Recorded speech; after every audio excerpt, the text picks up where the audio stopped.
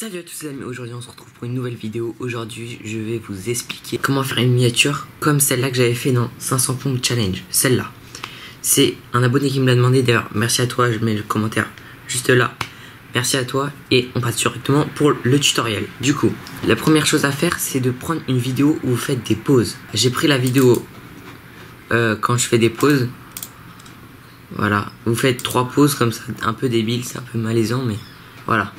Une fois que vous avez trouvé votre pose, voilà, on va prendre par exemple cette image. Donc on va prendre un screenshot de l'image. Donc moi j'utilise l'outil euh, capture des captures. Je fais hop, hop, et voilà, je prends un screen de, euh, de moi en train de faire la pose. Hop, voilà. Une fois que vous avez pris le screen, copier, vous allez sur Photoshop et vous le...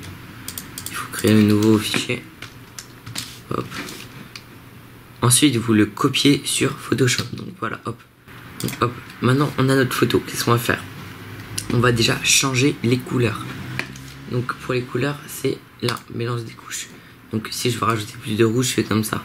Imaginons je veux garder ça comme ça. Maintenant, il faut écrire dessus. Je vais faire comme l'autre fois, 500 pompes challenge. On va écrire ça. Voilà. Je me souviens plus de quelle police j'avais utilisé.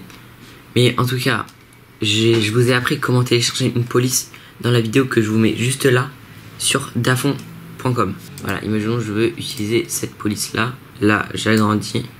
Voilà. Hop. 500 pompes. On va maintenant ajouter un effet de lueur rouge pour le faire, le faire un peu plus ressortir. Donc lueur externe. On a juste à faire en rouge. Et on vient tout simplement rajouter une petite lueur.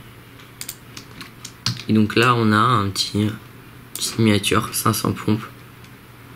Vous pouvez marquer challenge, faire la même chose.